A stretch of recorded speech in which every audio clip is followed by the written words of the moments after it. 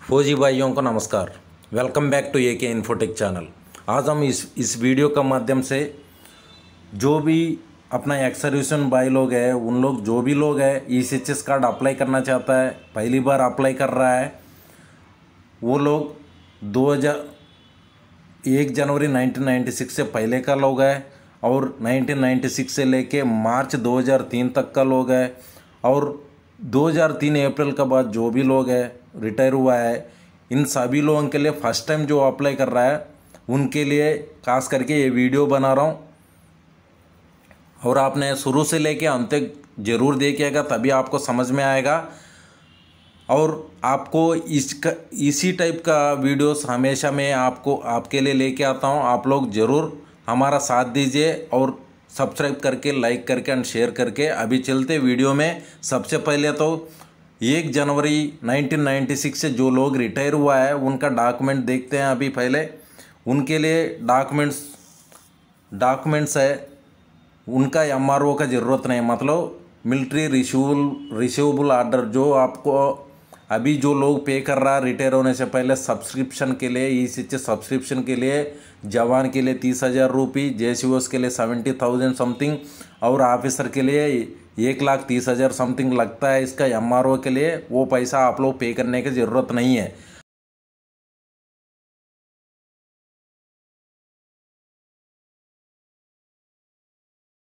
और उसका बाद 1996 एक जनवरी 1996 से लेके थर्टी फ़र्स्ट मार्च 2003 का बीच का जो लोग है, पहली बार अप्लाई कर रहा है। उन लोग अपना एफएम में मेडिकल अलाउंस जो ले रहा है हर महीना, एक हज़ार, दो हज़ार जो भी है, उसको पहले अपना बैंक में जाके डीपीडीओ का फॉर्म भर के बैंक मैनेजर से साइन कराना। मेरा नेक्स्ट मंथ से डीपीडीओ बंद कीजिए सर, और हमारा ये डीपीडीओ का रिसिप्ट के ऊपर साइन कीजिए, बता के आपने डीपीडीओ रिसिप्ट लेना है। और साथ में एम का एक फॉर्म होता है आपने सब्सक्रिप्शन ले रहा है ई सी का जो अमाउंट है, तीस हज़ार जो भी ओ का लेवल में, उसका अमाउंट पे करके, और आपने अपना एम फॉर्म के ऊपर वो बैंक से टप्पा लगवा के एमआरओ का रिसिप्ट लेना होता है। उसके बाद एक पीपीओ का ज़रूरत होता है, वो पीपीओ आपके पास हमेशा रहता है, वो पीपीओ को भी जब ये फॉर्म भरता तो अटैचमेंट लगाना होता है। उसका बाद उसका बाद देखिएगा मतलब 2003 का बाद जो भी लोग रिटायर हुआ है, उनके लिए सिर्फ़ पीपीओ लगेगा, क्योंकि उन लोग ऑलरेडी ई का सब्सक्रिप्शन पे कर चुका है।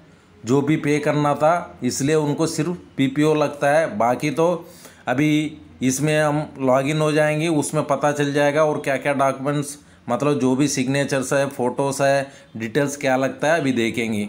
ये वीडियो थोड़ा लंबा हो सकता है, लेकिन आपको पूरा इन्फॉर्मेशन दिया जाता है इसी वीडियो में। ज़रूर आप शुरू से लेकर अंत तक देखिएगा। ये एक ज़रूरी चीज़ है अपना एक सर्विसमैन भाइयों का और उनका परिवार के लिए ई सी एच कार्ड का। इसलिए आप लोग आराम से अपना मोबाइल से भी इसी एप्लीकेशन को अप्लाई कर सकता है। इसलिए आप इस बात को ध्यान रखिएगा और आराम से अपना मोबाइल से भी आप इसी एप्लीकेशन को भर सकता है। E C H S card के लिए जो भी अप्लाई कर रहा है पहली बार जो रजिस्ट्रेशन करना चाहता है, उनको किस तरफ़ से रजिस्ट्रेशन करना मैं ऑलरेडी बता चुका हूँ। और मैं आपको डिस्क्रिप्शन में इसका लिंक प्रोवाइड करूँगा आपको, इसका रजिस्ट्रेशन किस तरफ़ से करता है। अभी वीडियो लंबा हो जाएगा, इसी वजह से मैं डायरेक्टली इसको लॉगिन हो जाता हूँ, फिर आपको कार्रवाई किस तरफ़ से करना वो इसका फॉर्म किस तरफ़ से करना वो मैं आपको समझाने के लिए कोशिश करता हूँ। अभी चलिएगा ऑलरेडी रजिस्टर्ड पे क्लिक कीजिएगा और यहाँ पे जाइएगा रजिस्टर करने के बाद जो आप रजिस्टर किया उस मोबाइल नंबर यहाँ पे डाल दीजिए और यहाँ पे पासवर्ड डाल दीजिएगा। यहाँ पे कैप्चा जो आपको यहाँ पे कैप्चा दिख रहा है, ये कैप्चा को आपको आपने यहाँ पे डाल दीजिएगा। देखिएगा, जैसे हमने लॉगिन किया है, इस तरफ़ से वेब पेज खुल के आ जाता है। पहले तो आप एडिट एप्लीकेशन पे जाइएगा यहाँ पे। जैसे आपने एडिट एप्लीकेशन पे आया, इस तरफ़ से आपको आपको अगले पेज आ जाता है। यहाँ पे देखिएगा click here to select your application category यहाँ पे देखिएगा, अपना कैटेगरी को सेलेक्ट कीजिएगा। मैं जो आपको समझाने के लिए कोशिश कर रहा हूँ, वो है जो फ़र्स्ट टाइम में जो अप्लाई कर रहा है ई सी कार्ड के लिए, उनके लिए मैं यहाँ पे फॉर्म भर रहा हूँ। इसमें दो टाइप का है। एक तो एक्स सर्विसमैन डिवाइस होने डिमाइज होने के बाद उनका किस तरफ़ से अप्लाई करता है? एक तो एक्स सर्विसमैन का किस तरफ़ से यहाँ पे अप्लाई करता है? कोई दोनों का कोई ज़्यादा फ़र्क नहीं है, वो दोनों को आप इसी एप्लीकेशन में देख सकता है, इसी का दौरान। पहले तो हम pre first January ninety six retirees का देख रहा है हमने। यहाँ पे सेलेक्ट कीजिएगा, जैसे सेलेक्ट किया आपको, यहाँ पे फॉर्म खुल चुका है।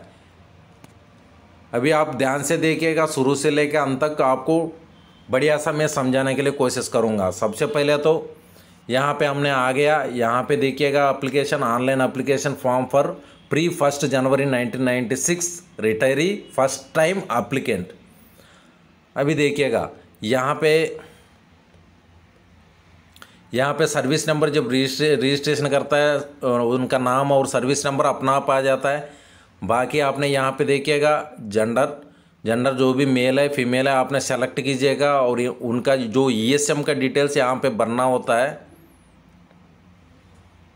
यहाँ पे उनका डेट ऑफ़ बर्थ आपने यहाँ कैलेंडर से आपने सेलेक्ट करके डाल दीजिएगा।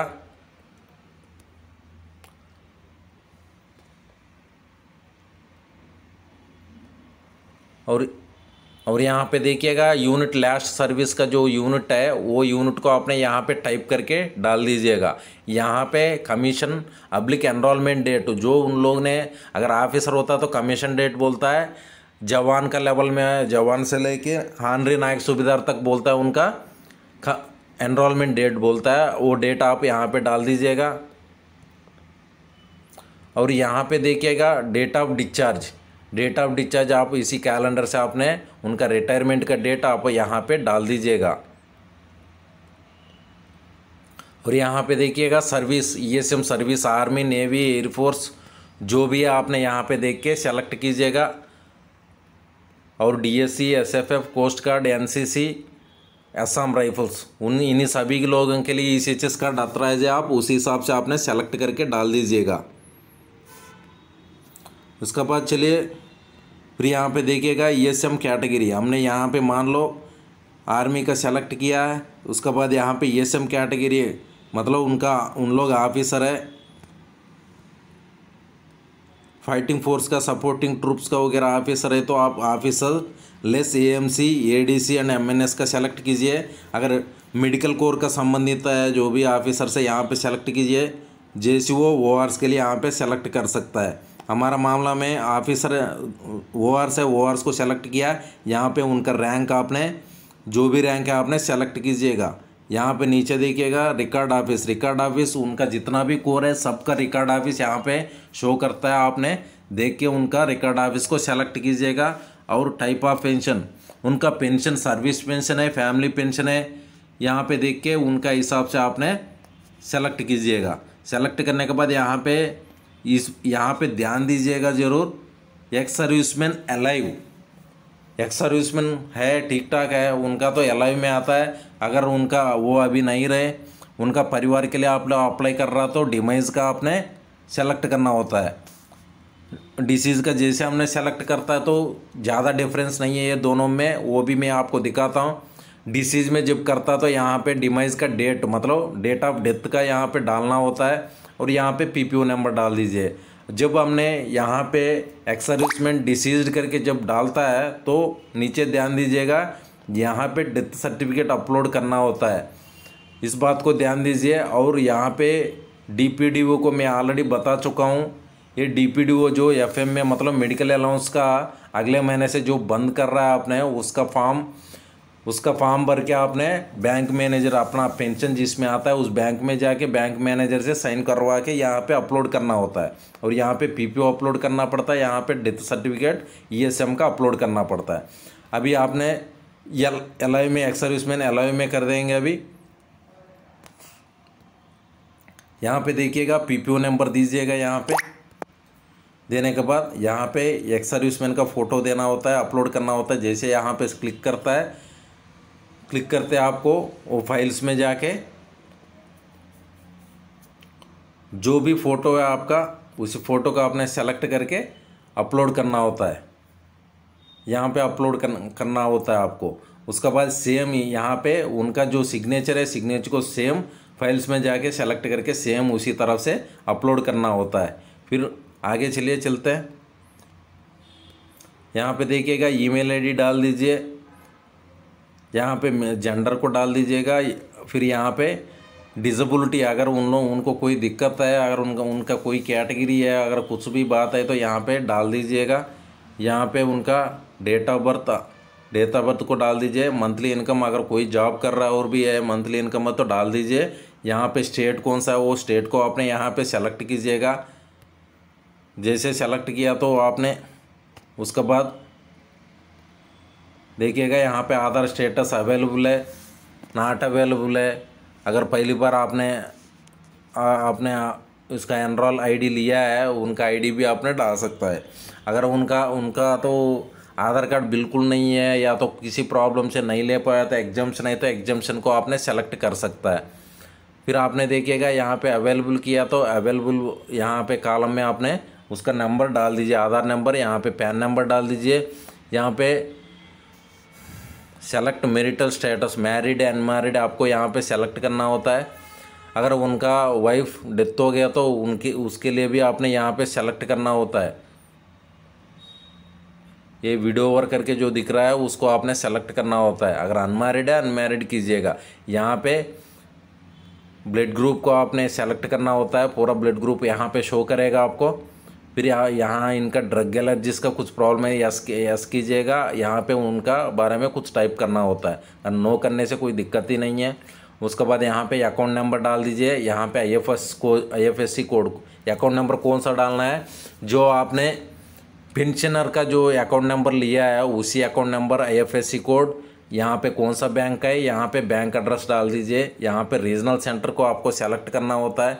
आपका पॉलीक्लिनिक जिसका भी रीजनल सेंटर में आता है, वहाँ का रीजनल सेंटर को आपने सेलेक्ट करना होता है। अगर इसका डिटेल्स नहीं पता तो आप ई सी का वेबसाइट में जाके आपने पता कर सकता है। यहाँ पे देखिएगा, मैं रीजनल सेंटर, हमारा हमारा तो तेलंगाना, आंध्रा का दोनों को मिला के एक ही रीजनल सेंटर है, वो हैदराबाद है। हमारा कोई कन्फ्यूज़न नहीं है तो हैदराबाद को हमने सेलेक्ट कर दिया। और साथ में जो भी अपना अपना पॉलीक्लिनिक है, गुंटूर है, गुंटूर को सेलेक्ट कर लिया हमने। उसके बाद देखिएगा, यहाँ पे एड्रेस देना होता है हमने। यहाँ पे एड्रेस को एड्रेस दीजिएगा, यहाँ पे डिस्ट्रिक्ट को आपने सेलेक्ट कीजिएगा, जो भी डिस्ट्रिक्ट है, और उसके बाद तहसील पिन कोड डाल दीजिएगा। अगर आपका एक ही एड्रेस है तो कोई दिक्कत नहीं अगर रहने वाला एड्रेस अलग है परमानेंट वाला एड्रेस अलग है तो यहाँ पे यहाँ पे डिफरेंटली सेलेक्ट कीजिएगा। सेलेक्ट करने के बाद नीचे भी आपको बनने का मौका मिलता है यहाँ पे। दूसरा एड्रेस भी यहाँ पे दे सकता है। इसका आप कुछ भी दे दो, कोई फ़र्क नहीं पड़ता, क्योंकि कार्ड घर में नहीं आता है एड्रेस पे नहीं आता है, वो पॉलीक्लिनिक में आता है। पॉलीक्लिनिक में जाके लेना होता है। इसी वजह से इससे इससे कोई परेशान होने का ज़रूरत नहीं है। उसके बाद देखेगा यहाँ पे डिपेंडेंट का डिटेल्स आ गया। यहाँ पे जैसे डिपेंडेंट डिटेल्स का आ गया सेम आपने जैसे ऊपर में आपने यहाँ पे फ़ोटो और सिग्नेचर अपलोड किया, वैसे सेम अप्लाई अपलोड कीजिएगा। फिर यहाँ पे उनका नाम अगर उनका कोई डिसीज़ है, कोई बीमार है, कोई कोई कुछ प्रॉब्लम है तो यहाँ पे अगर इस कैटेगरी में है तो सेलेक्ट कीजिएगा। यहाँ पे उनका रिलेशन वाइफ है डॉटर है मदर है फादर है, जो भी आपने, उनको सेलेक्ट कीजिएगा यहाँ पे। सेलेक्ट करने के बाद आगे देखिएगा, उनका डेट ऑफ़ बर्थ दीजिएगा यहाँ पे मेरिटल स्टेटस स्टेटस यहाँ पे सेलेक्ट कीजिएगा। यहाँ पे कोई इनकम है तो डाल दीजिए आपने। यहाँ पे मेल आईडी यहाँ पे मोबाइल नंबर आधार आधार है स्टेटस है तो अवेलेबल कीजिएगा यहाँ पे आधार नंबर डाल दीजिएगा। जैसे आधार नंबर डाल दिया यहाँ पे आपने इनका जो भी यहाँ पे कोई भी डिसेबिलिटी आप, आपने अगर ऐड करता है तो आपके पास सर्टिफिकेट होना चाहिए।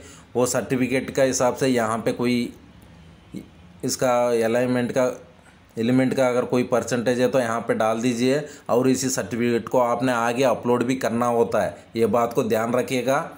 और यहाँ पे जेंडर को सेलेक्ट कीजिए और यहाँ पे ब्लड ग्रुप को सेलेक्ट करना होता है। अगर पैन नंबर है तो यस कीजिए, नहीं है तो नो कीजिएगा। उसके बाद आगे चलिए।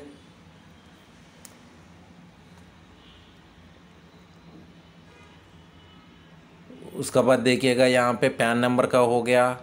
उसके बाद यहाँ पे ड्रग एलर्जीज का कुछ है, दिक्कत है तो आप यस कीजिए। अगर नहीं है तो नो कीजिएगा। फिर सेम अगर आपने नॉर्मली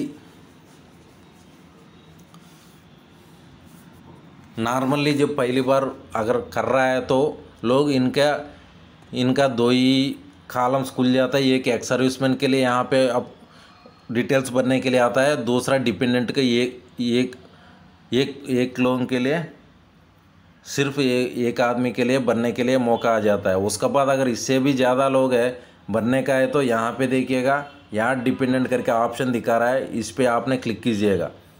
जैसे क्लिक किया तो ये कॉलम और ऐड हो जाता है यहाँ पे।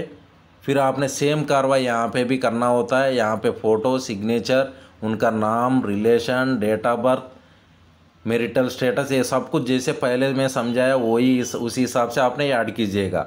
अगर और भी लोग हैं तो ऐड करना तो फिर दोबारा इसमें ऐड डिपेंडेंट कीजिएगा। यहाँ पे जैसे जैसे बताया, वैसे डिटेल्स भर दीजिएगा। फिर यहाँ पे देखिएगा डी आपने बैंक से लिया है होगा, आपने उसको अपने यहाँ पे डालना होता है, यहाँ से अपलोड करना होता है।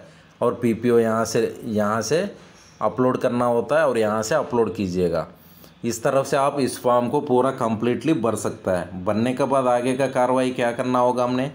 इसी से अगर सेल्फ डिक्लेरेशन कुछ भी भरना चाहता तो मतलब चेक करना, आप पढ़ना चाहता तो इसी सेल्फ डिक्लेरेशन को कुछ इंस्ट्रक्शंस इंपॉर्टेंट इंस्ट्रक्शंस दिया हुआ है, इसको पढ़ना चाहता तो पढ़ सकता है आप। उसके बाद आगे सीधा नीचे आइएगा।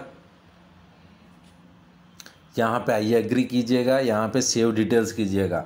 जैसे आप डिटेल सेव कर देता है जितना भी डेटा आप भर चुका है, वो पूरा डेटा सेव हो जाता है। सेव होने के बाद अगर आज पेमेंट नहीं करना चाहता है, सर्वर में कुछ दिक्कत है तो कोई बात नहीं, अगले दो तीन दिन का बाद भी यहाँ पे पेमेंट कर सकता है, यहाँ पे मेक पेमेंट करके आगे आपने ऑनलाइन में भी पेमेंट कर सकता है कार्ड से भी भर सकता है और यू का पेमेंट भी कर सकता है। जैसे पेमेंट करके सक्सेसफुली आपको ओटीपी आके सबमिट कर लेता है तो आपको यहाँ पे कितना पेमेंट करना है, यहाँ पे शो कर रहा, देखिएगा। Five thirty one rupees payment payment का शो कर रहा है। इसी पेमेंट को यहाँ से आपने मेक पेमेंट कीजिएगा। जैसे मे मेक पेमेंट कर देता है आपको, एक पेमेंट का इंटरफेस खुल के आ जाता है। और उसी इंटरफेस में आपको, जैसे मैंने पहले बताया कार्ड का पेमेंट का आता है यूपीआई का आता है। उनमें से आप इंटरनेट बैंकिंग का भी आता है, उनमें से जो भी चाहता है आपने वहाँ सेलेक्ट करके पेमेंट कर सकता है। करने के बाद आपको फिर दोबारा लॉगिन करना होता है। लॉगिन करके वहाँ से आपको एक एप्लीकेशन फॉर्म इस चीज़ का एप्लीकेशन फॉर्म मिलेगा और साथ में आपको जो पैसा पेमेंट किया आपको, उसका रिसिप्ट भी मिलेगा। ये दोनों ये दोनों को आपने डाउनलोड करके रखना होता है और उसका बाद जैसे आपको ये एप्लीकेशन रिकॉर्ड में पहुँच जाता है, वहाँ से वेरिफिकेशन किया जाता है। वेरिफिकेशन होने के बाद आपको एक टेम्प्रोरी स्लिप मिल जाता है। जैसे आपको टेम्प्रो जैसे आपको टेम्प्रोरी स्लिप मिल जाता है, जैसे आपको रिकॉर्ड ऑफ़िस से वेरिफिकेशन हो जाता है, उसके बाद आपको यहाँ पे यहाँ पे एक और ऑप्शन खुल जाता है टेम्प्रोरी स्लिप करके। उसी टेम्प्रोरी स्लिप के ऊपर जैसे आपने क्लिक करता है तो आपको एक टेम्प्रोरी स्लिप का फॉर्म डाउनलोड हो जाता है। उसी फॉर्म को आपने कलर फ़ोटो कापी, तीन कापी लेना और अपना polyclinic E C H S में जाके ओ आई सी से अपना डॉक्यूमेंट्स का साथ में जाके ओ आई सी साहब से मिलना है। ओ सी ओ आई सी साहब ने उसका ऊपर साइन करके आपको आपको एक कापी देगा। वो कापी को आपने अगले छः महीने तक वैलिडिटी दिया जाता है, आपका कार्ड आने तक उसी का काम आ जाता है। ये कार्ड आपको वेरिफिकेशन होने के बाद रिकॉर्ड ऑफ़िस से फिर दिल्ली दिल्ली में जाता है। दिल्ली से आपको वो प्रिंट होके रीजनल सेंटर का थ्रू अपना E C H S polyclinic में आता है। वहाँ से जब ओ टी पी आता है कलेक्शन के लिए कार्ड कलेक्शन के लिए, तब जाके आपने उस कार्ड को कलेक्शन करना होता है। इतना प्रोसेस इतना कार्रवाई इसमें होता है। इसी थियोरी जो भी मैं बता रहा हूँ, वो आप पूरी तरफ़ से जो भी लोग सुनता है, सुनने के लिए मैं लास्ट तक देखने के लिए लास्ट तक देखने के लिए बता रहा हूँ इस वीडियो को। कई सारा लोगों को समझ में नहीं आता है, क्या प्रिंट लेना है, कहाँ से प्रिंट लेना है, कहाँ जाना है, किससे कार्ड लेना है, बहुत सारा चक्कर पड़ता है इसमें, इसलिए मैं आखिर तक देखने के लिए बताता हूँ। अभी मेरे ख्याल से बहुत सारा लोग आधा वीडियो देख के छोड़ के गया होगा, उनको कैसे समझ में आएगा, इसलिए मैं इसी बात को बता रहा था, शुरू से लेके अंत तक देखिएगा ज़रूर। जैसे आपने इसका पेमेंट कर लेता है करते ही आपको इस तरफ़ से लॉगिन में आ जाता है, यहाँ पे इतना ऑप्शंस दिखता है। इसमें क्या करना होता है, इसी एप्लीकेशन फॉर्म जो दिख रहा है, इसको आपने डाउनलोड करके प्रिंट करके रखना होता है और पेमेंट रिसिप्ट को भी डाउनलोड करके रखना होता है। इस तरफ़ से आपको, जैसे आप उसका टेम्प्रो स्लिप मिलता तो ज़रूर जाके ओ एस पॉलिक्लिनिक से साइन कराइएगा, तभी आगे आपका जो भी आप खुद का और परिवार का ट्रीटमेंट के लिए इस चीज़ का जो भी फैसिलिटी मिल जाता है। इस तरफ़ से आप अपना फॉर्म को ऑनलाइन में अपना मोबाइल से या तो कंप्यूटर से भर सकता है। अगर आपको ये वीडियो इन्फॉर्मेटिव लगा तो ज़रूर आपने हमारा हमारा चैनल को मदद मतलब मदद दीजिएगा सपोर्ट कीजिएगा और आगे अपना फौजी भाइयों को ज़रूर शेयर कीजिए लाइक कीजिए एंड सब्सक्राइब कीजिएगा। जय हिंद, जय भारत।